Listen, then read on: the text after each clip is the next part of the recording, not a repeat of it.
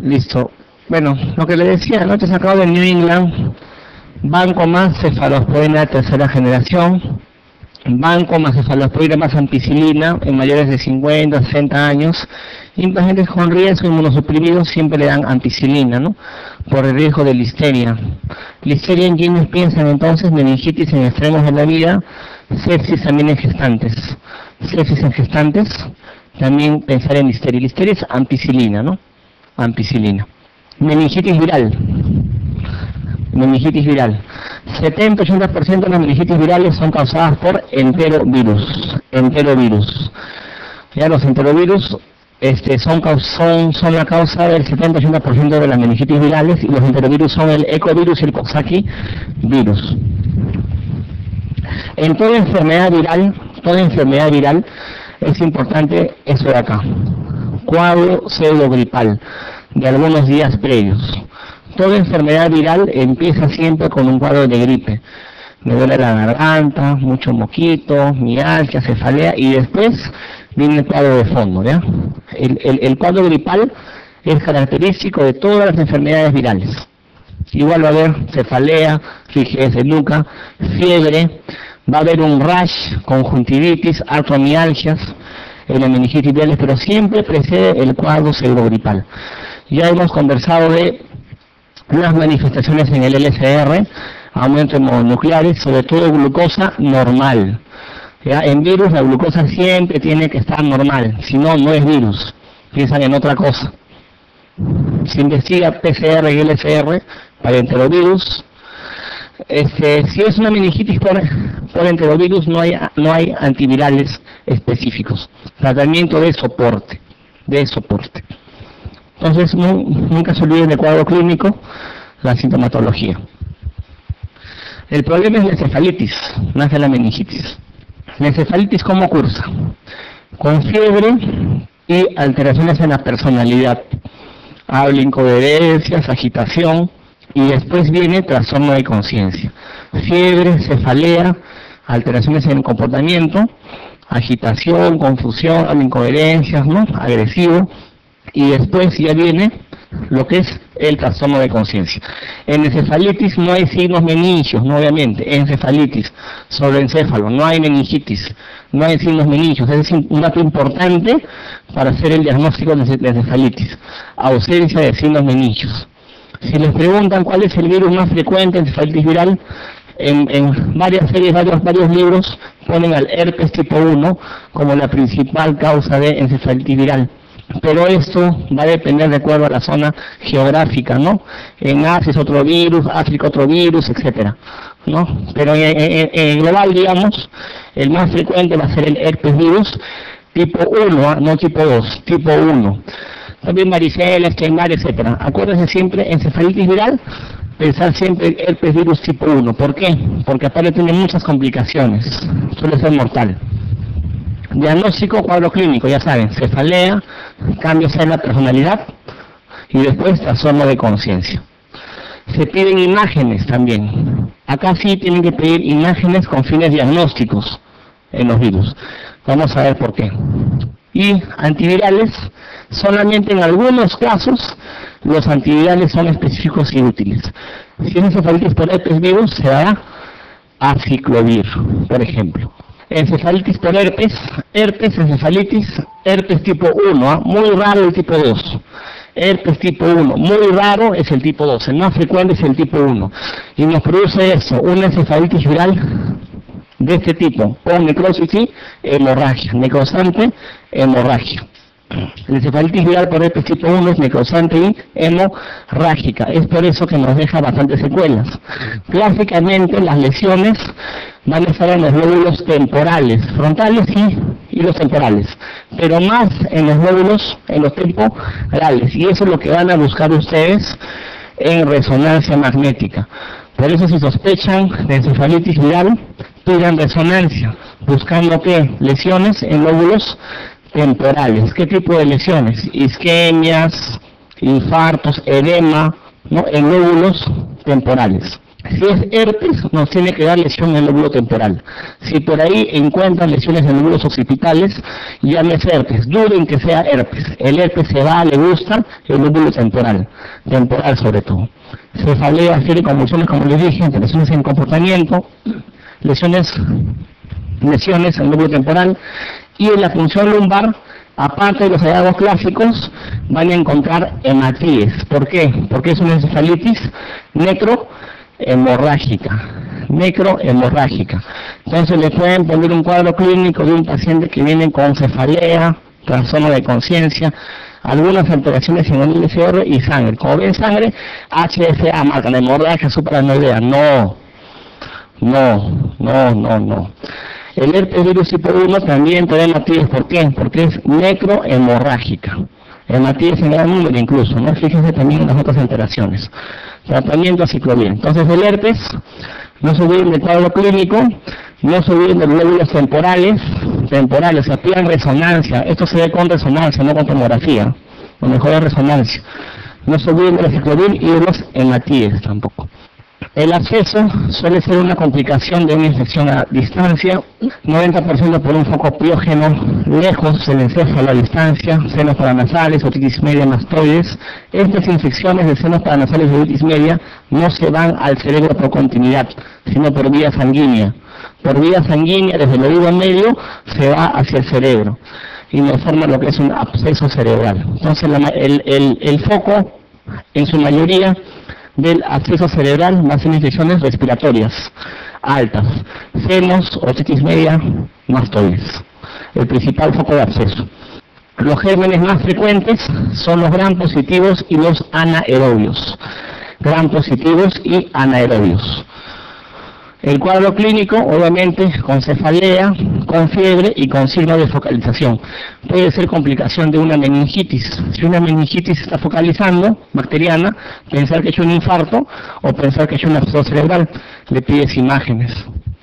Como les dije, anaerobios y gran positivos, los gérmenes más frecuentes. Por lo tanto, los antibióticos van a ir dirigidos hacia esos agentes. ¿Se hará qué cosa? Ceftriaxona, igual para gran positivo sí, metronidazol. Metronidazol. a metro es el esquema en meningitis, en absceso cerebral que diga. Acuérdense que todo absceso, todo absceso, sea cerebral, sea en hígado, sea pulmonar, tratamiento es más de un mes, siempre. Todo absceso, todo absceso, sea pulmonar, sea hepático, sea cerebral, tratamiento siempre es más de un mes con paciente hospitalizado. En ese caso se da por 6 a 8 semanas. Miren acá. Miren esta imagen, quiero que vean. Es una hipodensidad con aspecto de guante, ¿se dan cuenta? Acá hay un dedito y acá hay otro dedo, ¿no es cierto? Como un guantecito. ¿Eso cómo se llama? Edema vasogénico. Edema vasogénico. Es un área hipodensa subcortical, porque miran, estas cositas de acá son parte de corteza, parte de corteza. El edema vasogénico te respeta corteza. Es un edema solo de subcorteza con aspecto de guante. Cuando encuentran edema vasogénico, básicamente tienen dos posibilidades, o es un tumor o es una infección, o es un tumor o es un absceso. Tumores o abscesos. Obviamente los tumores son los que más se dan edema y si le ponen contraste, miren lo que pueden encontrar. Aparte del guante que van a ver, una imagen hipodensa que capta contraste en anillo. La imagen hipodensa que capta contraste en anillo no es patognomónica de toxoplasma, por si acaso, es absceso cerebral. Que en VIH lo más frecuente sea lo otro es otra cosa, pero es absceso cerebral imagen hipodensa de capta contraste en anillo y edema vasogénico. ¿no? Entonces, eso acá no es infarto, ¿verdad? Muchos residentes ven acá una cosa negra, tomografía, infarto, ¿no? Tienen ese, todo lo negro en tomografía es infarto, ¿no? Entonces están parametrados ya. No, los infartos son córticos subcorticales. Los infartos se comprometen corteza y subcorteza. Acá no, pues, ¿no? Acá se compromete solamente la subcorteza, bien, bien, bien estilista, limitada. Eso es edema vasogénico. No, no, no, no, no confundir con, con isquemia. La isquemia es incuña, isquemia es córtico subcortical. Recuerden. Empiema subdural Esto se los pongo sobre todo porque hay una pregunta en la cual en quiénes piensas esta enfermedad y cómo lo, la ves el diagnóstico, ¿no es cierto? En casos de enclima subdural está contraindicada la punción lumbar. ¿Por qué? Porque la pus está en el espacio subdural, arriba del, la del aracnoides. Si haces punción lumbar, la pus la metes al espacio supraranoideo, valoras al paciente. Si sospechas de esta enfermedad, el diagnóstico es con imágenes, con resonancia magnética, ¿no? Una colección purulenta de la dura, entre la dura madre y la aracnoides, a partir de un foco superativo, nos da fiebre, trastorno de, de conciencia y signos de focalización, el diagnóstico es con resonancia magnética, con imágenes, y está contraindicada la punción lumbar. Por eso, ¿no? El intima subdural se encuentra por acá, arriba del espacio supraranoideo. Si pulsas, la pulsas acá, la metes acá adentro. Peor, ¿no? Peor. O sea, no se indica la función lumbar, son imágenes. Y tratamiento quirúrgico, ¿no? Neuroquirúrgico y hacer un drenaje los neurocirujanos. Cisticercosis, la neurocisticercosis antes del break. Eso lo vamos a ver también en efecto algunas cosas, ¿no? Pero recuerden que la que, la que nos produce neurocisticercosis es la tenia solium, no la saginata. La que nos produce la neurocisticercosis va a ser la tenia solium. Y acá tienen que tener esos conceptos.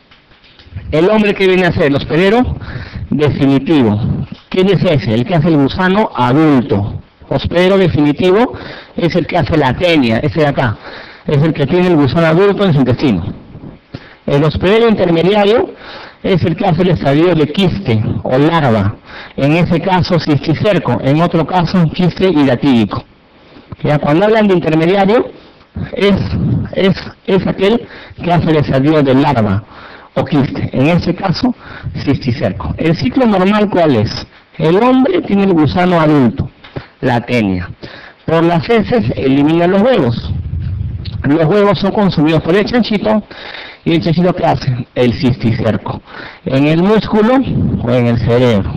Consume la carne del chanchito, tu pan con chicharrón, te comen los cisticercos y al consumir los cisticercos haces el gusano y así sigue el ciclo. El hombre hace gusano adulto, elimina huevos, no come el chanchito, hace el citicerco, tú comes el chanchito, comes el citicerco y haces, haces el gusano adulto. Ese es el ciclo normal. El hombre como hospedero definitivo, el gusano adulto, y el cerdo como hospedero intermediario que quiste. ¿Qué ocurre a veces? Que el hombre funciona como el chanchito y funciona como hospedero intermediario accidental. Es decir, consume los huevos, consume los huevos. O sea, consumir los huevos va a ser el quiste, el cisticerco. Va a ser el cisticerco. ¿Ya? Va a ser el cisticerco. Entonces, para que tengas la cisticercosis, no tienes, no es que tienes que consumir el cisticerco, carne de chancho. No, tienes, tienes que consumir comida contaminada con huevos de tenia. Con huevos de tenia. Comida contaminada con heces de alguien. ¿Ya? Para que hagas el cisticerco. No es que comiendo tu pan con este chicharrón vas a, hacer cosas. No, no, no, no.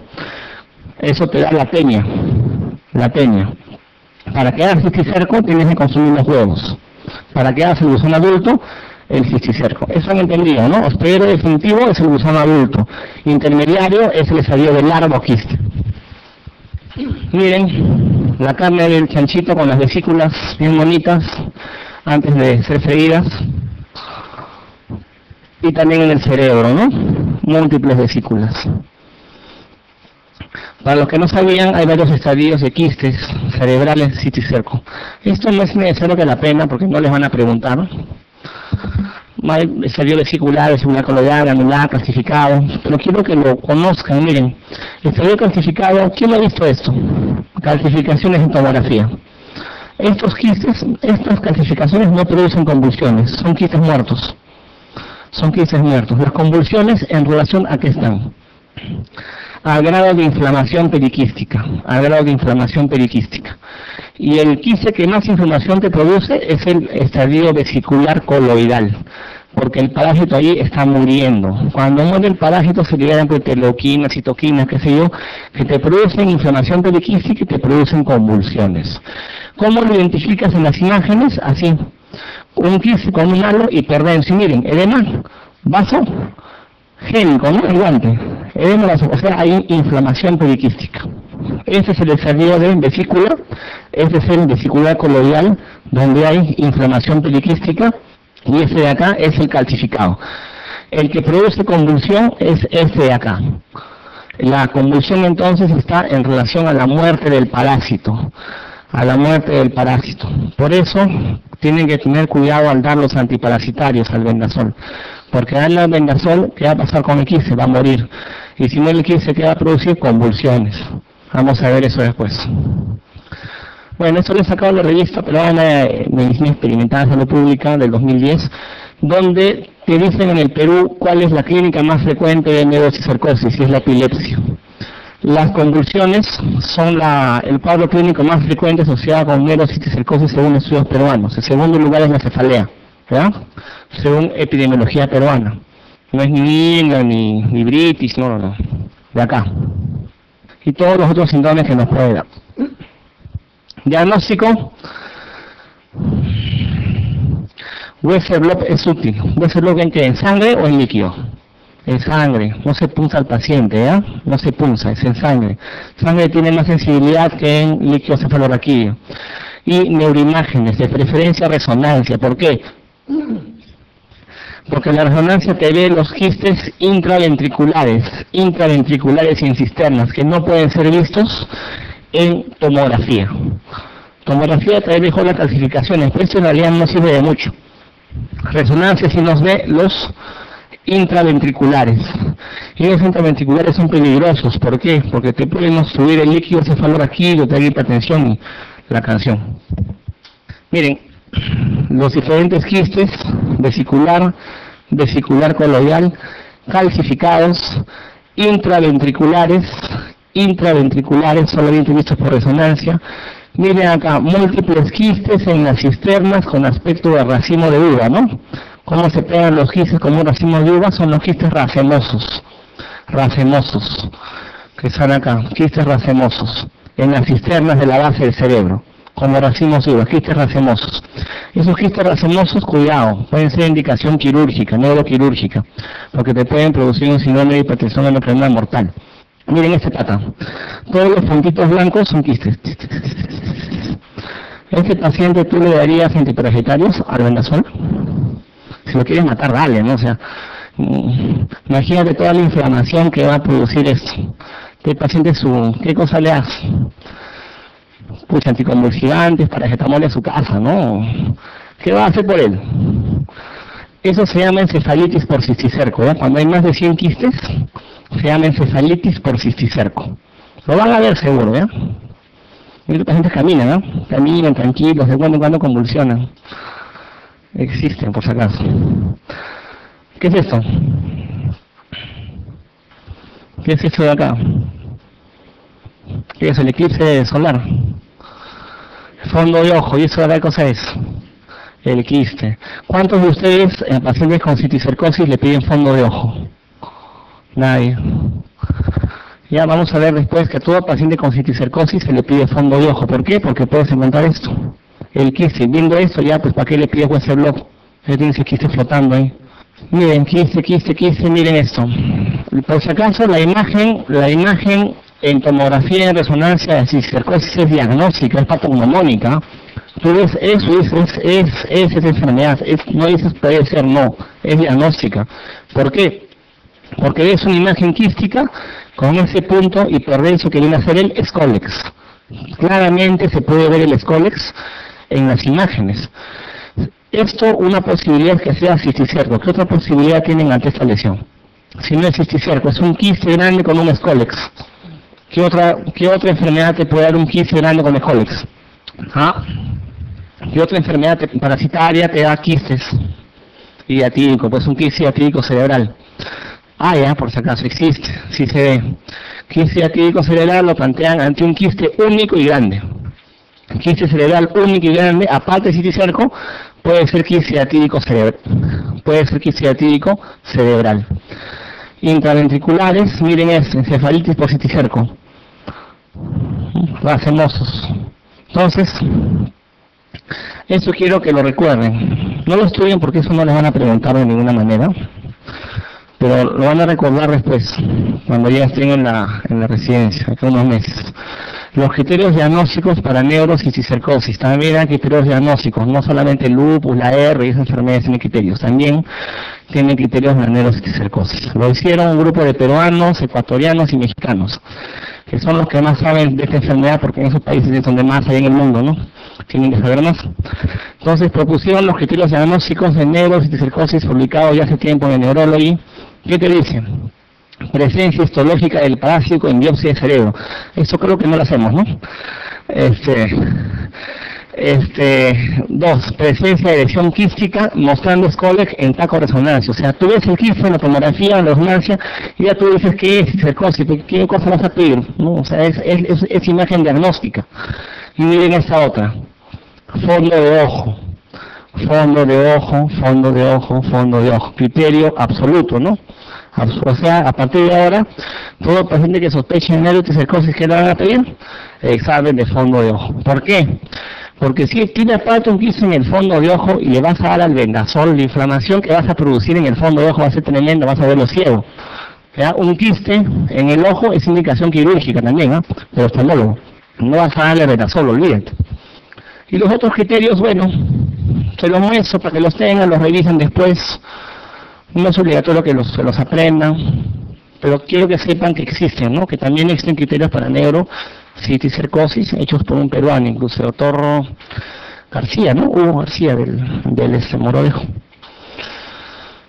Este tratamiento, hay varios esquemas. La droga de lesiones al vendasol, alternativa para ¿Cuántos días? Controversial.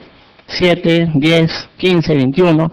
Actualmente postulan 7 días ya quizá no es importante el tiempo, es importante que sepan quedar al vendasol. Y es importante que todo paciente que van a manejarlo es paciente hospitalizado, ¿ah? no es ambulatorio. ¿ah? No lo manejen en su post, en el pavón, o sea, no, no, no, no. Paciente con cercosis se hospitaliza, se hospitaliza para iniciar manejo, porque dándole al vendasol puede convulsionar. ¿ya? Y junto, ¿qué cosa dan? Dan con corticoides. Dan con corticoides, dan con corticoides.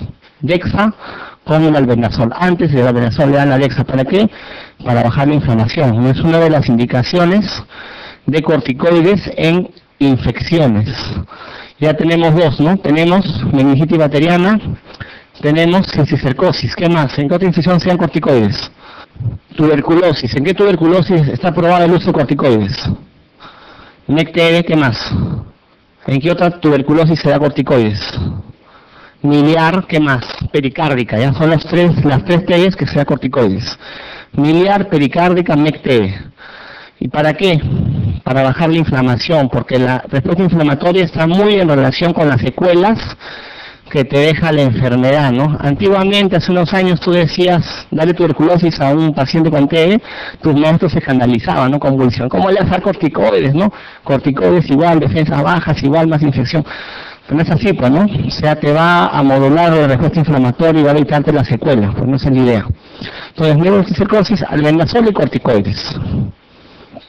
Bueno, vamos a continuar con la segunda parte ya para entrar después en las preguntas espero que estén comprendiendo más o menos los, los conceptos, ¿no? Los, las cosas que se les quiere dar, siempre haciendo hincapié en lo que creo que deben recordar, ¿no? Cada enfermedad, para hablar de fisiopatología, pues clases seguramente, ¿no? Pero hay puntos que tienen que saberlo sí o sí con fines del examen, ¿no?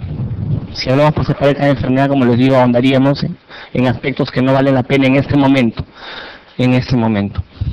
Y ahora vamos a hablar de lo que es cefalea.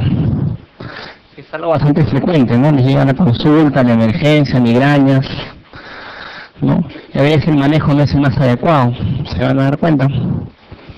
Entonces, cuando la cefalea es un problema, cuando es un inicio súbito e intenso, no nunca me duele la cabeza y el día me duele como nunca, la peor cefalea de toda mi vida, ¿no? Ese es el clásico cuadro de una HGA cuando aparte de enfermedad sistémica, cuando aparece después de los 50 años. Las migrañas aparecen antes de los 30 años, ¿no? Después de los 30, 40 años, una cefalea y pensar que puede hacer otra cosa, ¿no? Pedir imágenes.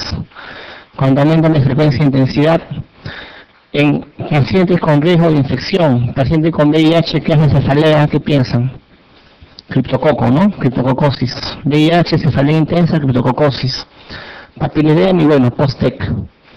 Entonces lo primero que vamos a ver es la migraña, más común en mujeres, 2 a 1 con respecto a los hombres, aparecen clásicamente antes de los 30 años, rara vez después de los 40, y los síntomas y síntomas son cefalea unilateral pulsátil en 60-40%, aunque un 50% puede ser bilateral opresiva, por si acaso, eso que clásicamente nos dicen que es un solo lado pulsátil, hasta un 50% puede ser bilateral y opresiva. pérdida visual o sensitiva, anorexia, náuseas, vómitos, frialdad, fotofobia, cambios en el humor, ¿no? Algunos pacientes, algunas pacientes cuando tienen migraña son insoportables, ¿no? Entonces, este, se hacen insoportables. Bueno, eh, son los síntomas que nos pueden, que pueden acompañar a la migraña. Esto todo el mundo lo sabe. Esto es importante. Pródromos, aura, cefalea, término de la cefalea. Los pródromos se presentan horas o días antes de la cefalea y básicamente son cambios en el humor, somnolencia, irritabilidad, fatiga. Esos son los pródromos antes de la cefalea. No confundir con el aura. No es lo mismo pródromo que aura. El pródromo se presenta horas o días antes y somnolencia, irritabilidad, fatiga, cambios en el humor. En algunos pacientes, un tercio de los pacientes se va a presentar el aura. Y cuando se presenta aura se llama la migraña con aura o migraña clásica. Migraña clásica o migraña con aura.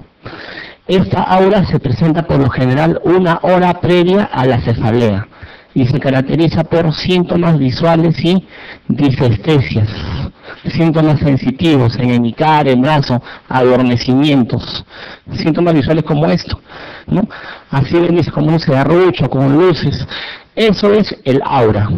¿Por qué es importante identificar a los pacientes con aura, que son un tercio de los pacientes? Simplemente para saberlo. ¿Por qué? ¿Por qué es importante el aura? ¿Con qué se relaciona el aura? ¿Mm? El aura en un porcentaje de pacientes, 10%, se puede relacionar con DCDs isquémicos, dependientes del sistema vacilar cerebral posterior, DCDs isquémicos, DCDs isquémicos. ¿Ok? Eso es importante también a la hora de ver el tratamiento. El tratamiento. Sería bueno que busquen la relación migraña con DCD isquémico y las que se relacionan son las que tienen aura. Aura. Luego la cefalea y terminación de la cefalea. Estos son los criterios diagnósticos para migraña, no quiero que se los aprendan, pero sí que tengan el concepto que lo que hace el diagnóstico de migraña es la recurrencia de las crisis. Una sola crisis no vas a decir que es migraña, pues, ¿no? Un solo de cabeza migraña, no. Tienen que entender al menos cinco crisis con cefaleas que duran de 4 a 72 horas. Una migraña te durar hasta 3 días. ¿Cómo se llama cuando una migraña te dura más de 3 días? Estatus migrañoso. Eso dicen que es indicación de hospitalización, ¿no? Pero en emergencia seguramente le dan de alto ustedes, ¿no? A su casa, señora, se le pasa dolor de cabeza en su casa. Nadie hospitaliza una migraña, ¿no? Pero dicen la literatura que es indicación de hospitalización, está todo migrañoso. ¿Ya? Bueno, o sea, el, el, el, concepto de migraña es que sea episódica y recurrente. La duración importante, más de 72 horas, es estatus migrañoso. Alimentos que precipitan migraña, ricos en tiramina, queso, vino tinto, glutamato monosódico, tu candurantal, tu tallarín saltado, chifa, ¿no es cierto? Tiene harto de esto. Nitratos, elementos marinados, estudiantes de medicina, bebidas alcohólicas, bebidas con cafeína, chef, dice, ¿no? Bebidas con cafeína. Si bien es cierto la cafeína es en la mayoría de fármacos contra la migraña, pero a dosis pequeñas, ¿no? Dosis altas con otros componentes más bien te pueden desencadenar crisis. Chocolates, gaseosas oscuras, básicamente alimentos, bebidas oscuras, chocolates, Coca-Cola, tu cola real, ¿no? Cosas oscuras que puedes tomar, vino tinto también, ¿no? Si ya todo lo oscuro te puede desencadenar migraña, evitar en el paciente. Y por último, tratamiento, y acá lo importante. ¿Cuál es el tratamiento de elección para migraña? Hay uno, se les preguntan así. Depende. Si el cuadro agudo es leve, ANS. AINES, naproxeno, ibuprofeno, paracetamol un gramo, indometacina, ¿no? Eso refiere. Si el cuadro es moderado a severo, se usa medicina específica. Tenemos los triptanes y tenemos los ergotamínicos. Los triptanes acá nadie los usa, ¿no es cierto? Porque hay una sola presentación muy limitados en nuestro medio. Lo que todo el mundo usa, ¿qué cosa es? La migraoricina, ¿no? ¿Cómo la usan? ¿Cada cuánto tiempo la usan? ¿Por cuánto tiempo le indican? Porque eso le viene cada rato, ¿no? Al consultorio, dicen que migraña, migraoricina va a tomar, con eso le va a pasar. Regresa el día siguiente, no, tómela cada 12 horas, porque le sigue No, cada 8, señora, ya iba a tomar dos ahorita, para que le pase rápido. ¿No? Entonces, ¿no? Contra Amadol todavía, ¿no? ¿Cómo dejan la ergotamina? La ergotamina viene acá de un miligramo en las presentaciones de esos, compuestos que dejan. ¿Cómo le indican? ¿Horario? ¿Mm? Se indica en el momento agudo y se repite la media hora si no cede. Y máximo tres dosis al día y máximo dos veces por semana. Estoy seguro que acá lo indican seguro que a veces todos los días. ¿Por qué? Es más, estos fármacos en el mundo ya muchos no los usan. Los ergotamínicos te producen vasoconstricción. Están contraindicados en pacientes con hipertensión arterial, con cardiopatía isquémica, con enfermedad arterial periférica, porque te puedes desencadenar un infarto miocardio, un DCD. Ergotamínicos. También estos de arriba, los triptanos, pero más los ergotamínicos.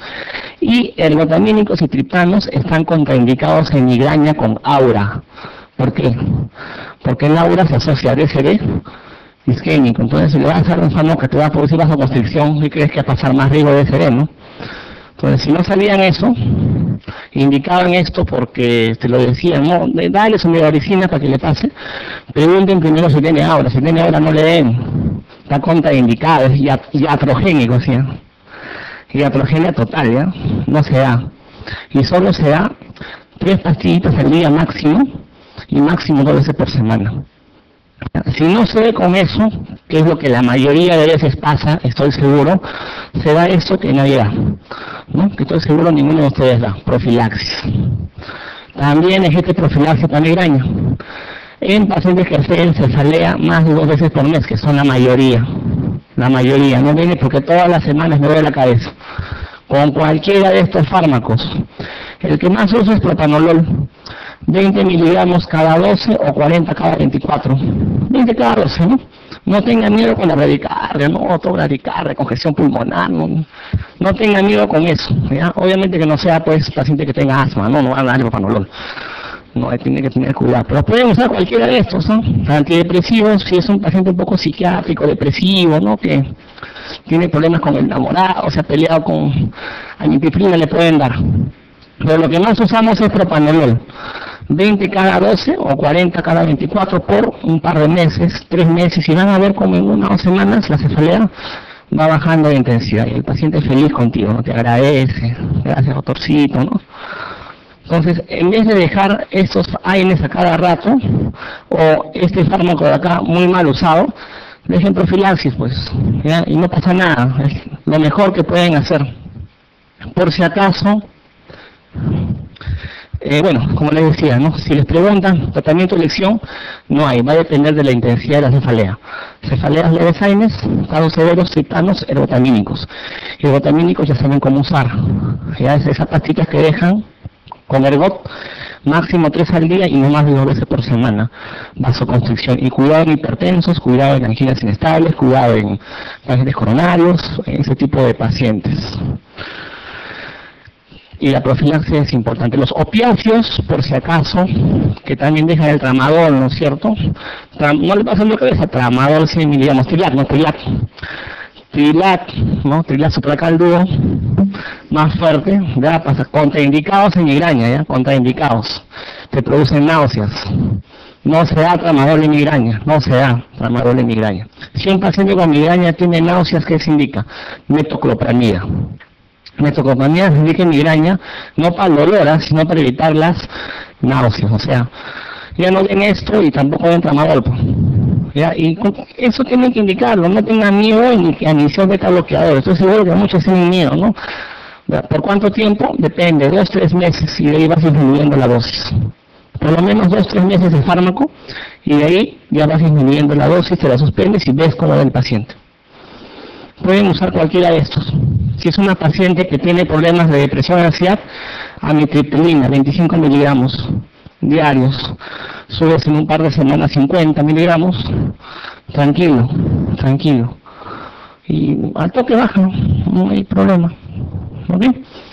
Entonces, eso es lo que tienen que saber con respecto a migraña. Si revisan los libros, van a ver 20 tipos de migraña, la vacilar, la oftalmoplégica, la menstrual, la no sé qué, no tiene sentido que aprendan eso.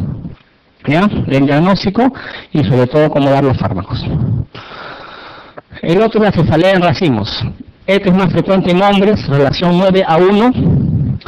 Se presenta clásicamente en las primeras horas antes de acostarse, en las primeras horas de, este sueño que diga, aparición nocturna, brusca, sin aura, y el dolor es peri y retroocular, un solo ojo muy intenso, paroxístico, acompañado de síntomas y síntomas disautonómicos locales, congestión, rinorrea, epífora, rubor, sudoración alrededor del ojo.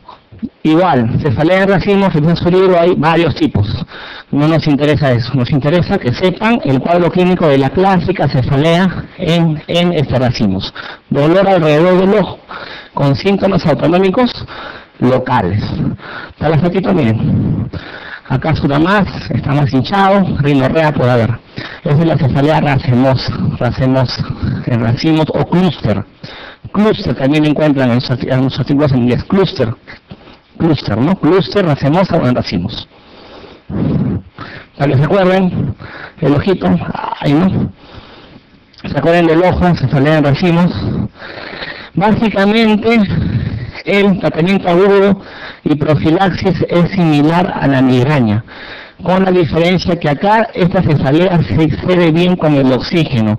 No se sabe bien cuál es el mecanismo, pero la administración de oxígeno por cánula a un flujo alto de estos pacientes desaparece el dolor. Desaparece el dolor. Es la cefalea que excede con oxígeno. No se sabe bien exactamente por qué y lo demás se da casi igual que en la migraña. Entonces, cefalea racemosa, lo único que tienen que saber es el cuadro clínico y que se con oxígeno. Nada más. Los 20 tipos de esa enfermedad no es que los conozcan. Es para el neurólogo, ¿no? Neuralgia, lo que siempre preguntan, siempre les digo, tratamiento de lesión, carbamazepina. Todo el mundo sabe el cuadro clínico de esta enfermedad. Tratamiento médico de lesión es la carbamazepina. Carbamazepina, carbamazepina. Es lo que también siempre preguntan. ¿Ok? Algo de epilepsia. ¿Cómo cuando hablan de epilepsia? Cuando hay dos o más crisis o la posibilidad que la crisis vuelva a aparecer. Vuelva a aparecer. Actual, bueno, el concepto clásico antiguo es que tenían que haber dos o más crisis. Actualmente se refiere como la posibilidad que tiene el paciente que la crisis aparezca. Si es un paciente con si es un paciente con una alteración en el cerebro, un quiste, un tumor y presenta una convulsión, obviamente ese paciente por ese tumor tiene un alto riesgo que la crisis pueda aparecer. Y ya con una sola crisis ya puede catalogar como epilepsia. Pero clásicamente es la presencia de dos o más crisis. El estatus epiléptico es cuando el paciente no deja convulsionar más de media hora, o tiene varias crisis seguidas sin recuperar la conciencia. Pero ahora se maneja el concepto de estatus inminente. Estatus inminente es más de cinco minutos.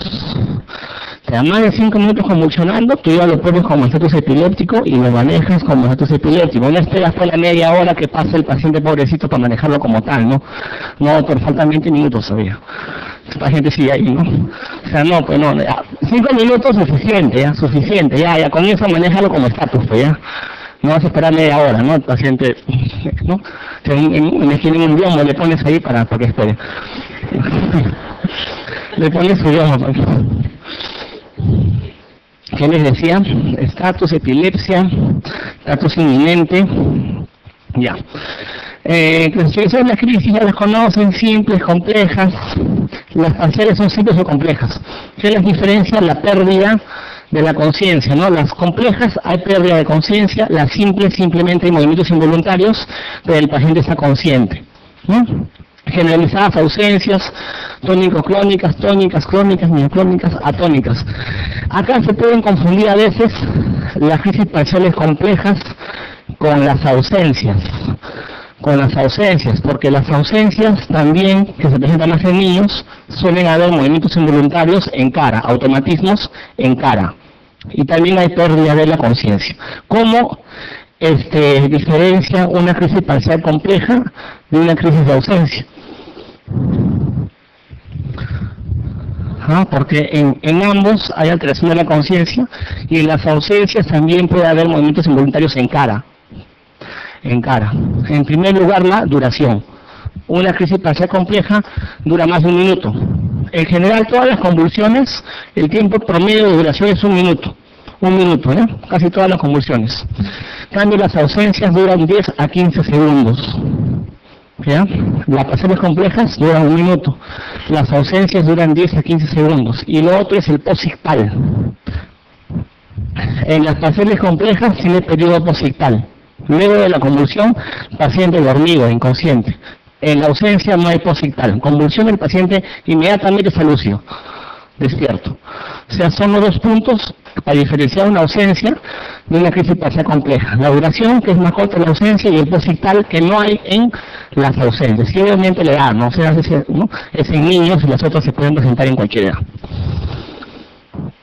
Primaria, criptogénica, secundaria, según la causa. Secundaria es cuando hay una causa identificable, un tumor, un cisticerco, un infarto, epilepsia secundaria, ¿no? Secundaria por el infarto, ¿no? Secundaria por el cisticerco primaria cuando no hay causa y la criptogénica es cuando inicialmente no encuentras causa, pero tienes una alta sospecha que sea secundaria. Por ejemplo, todo paciente de más de 25 años, 25 30 años que convulsiona, tienes que sospechar que es causa secundaria.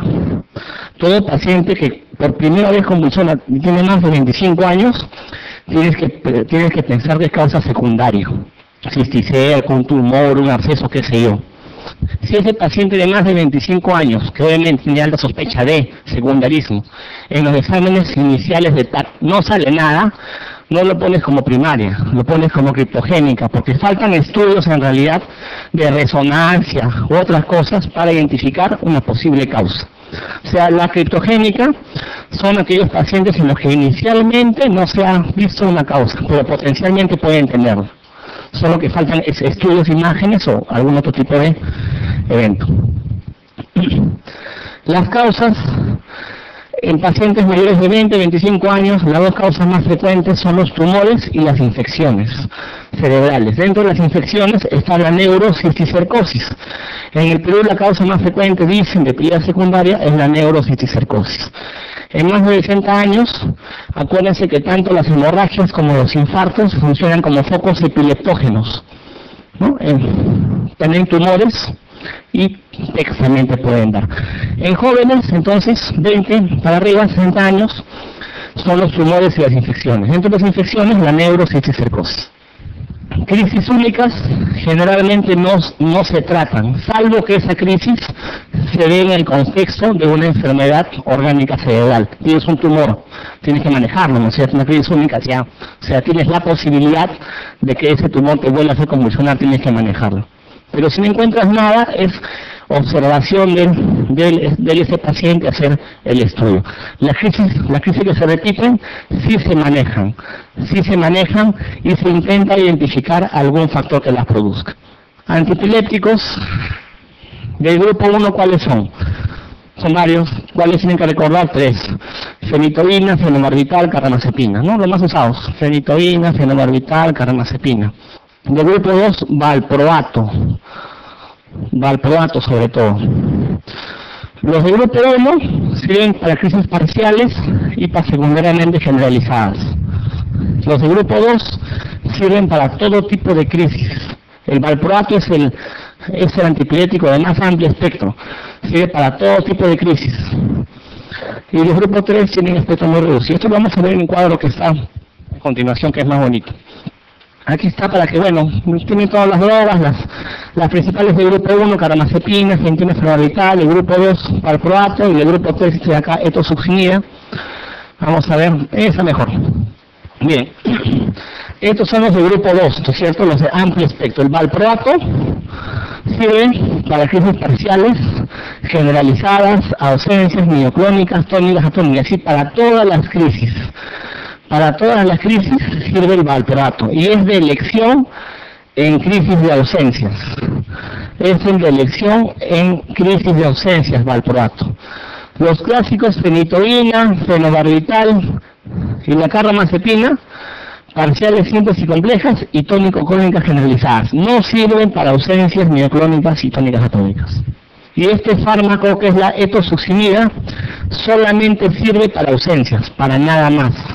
Pero no quiere decir que sea el fármaco que se use de elección en ausencias, es de segunda línea. De primera línea en ausencias es el valproato. Es cierto que este fármaco solo sirve para ausencias, solo sirve para eso pero no quiere decir que sea el de elección.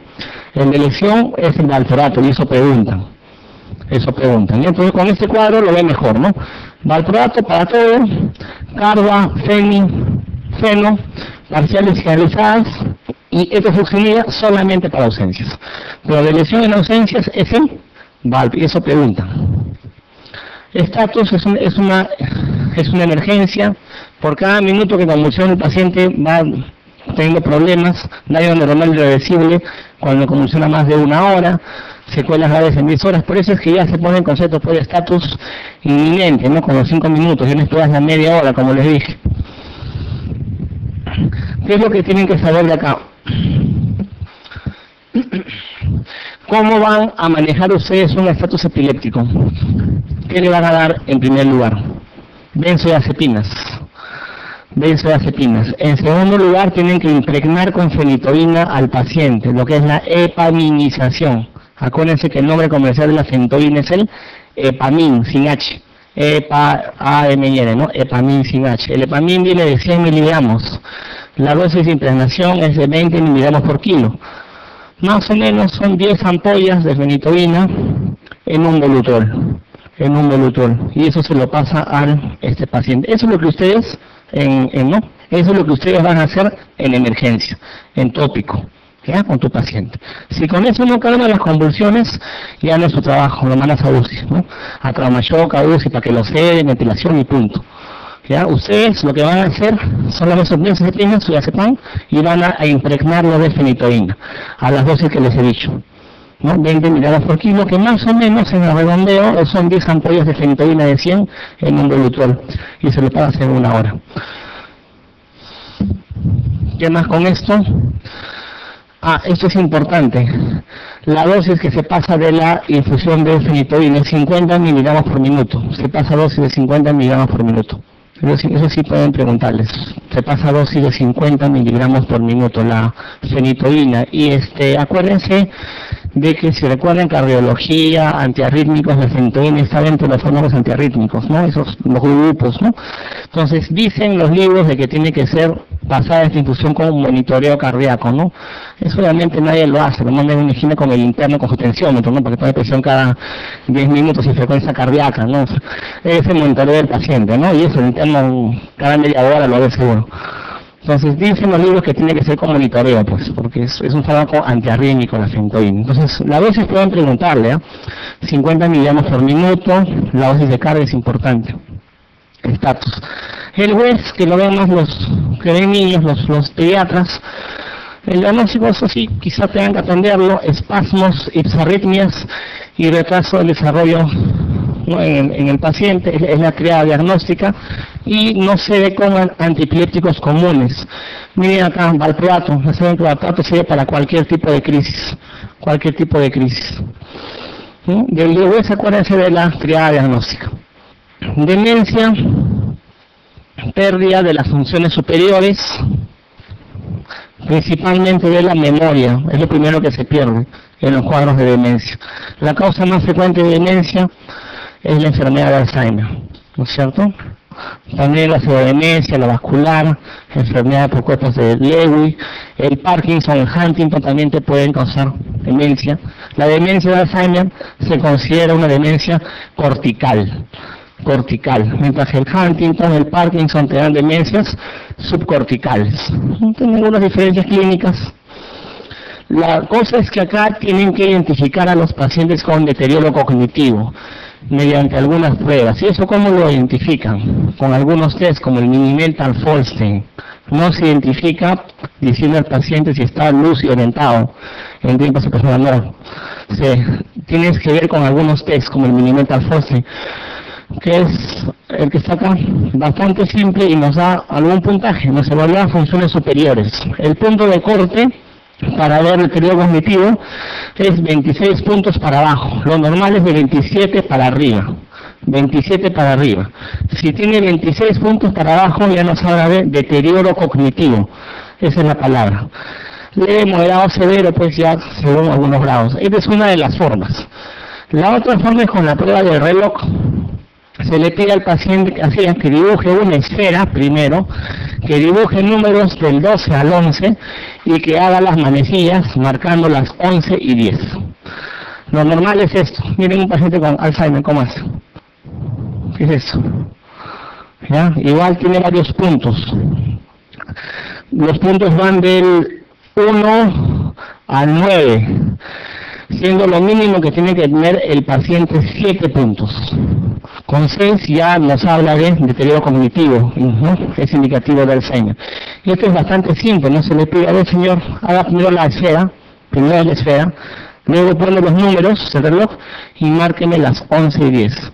Hagan eso con sus pacientes favoritos, ¿no? Esos favoritos que tienen infartos cerebrales múltiples, ¿no es cierto?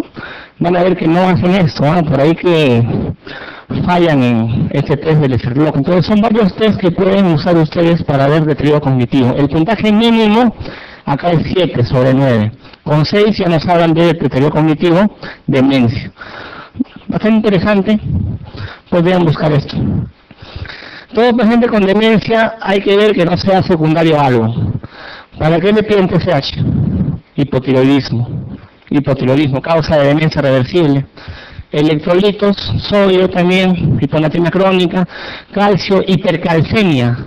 Hipercalcemia, pacientes que tienen hipercalcemia por N causas, también nos hacen deterioro cognitivo. Glucosa, vitamina B12. Dentro de las manifestaciones de la vitamina B12, aparte de las polineuropatías, también está la demencia demencia y ácido fólico. Todo paciente debe, con sospecha de Alzheimer, debe, debe sacarse imágenes, tomografía y resonancia, para descartar causas secundarias, tumores, por ejemplo, granulomas, etcétera, descartar. O sea, básicamente es un diagnóstico de descarte. Descarta que no sea metabólico, descarta que no sea orgánico, tiene deterioro cognitivo, Alzheimer. Es así. Criterios diagnósticos, como les mencioné. Factores de riesgo. Alzheimer, ¿cuáles son los más importantes? RR, riesgo relativo. Si es más de uno, te dice que tiene más posibilidad de, ¿no es cierto?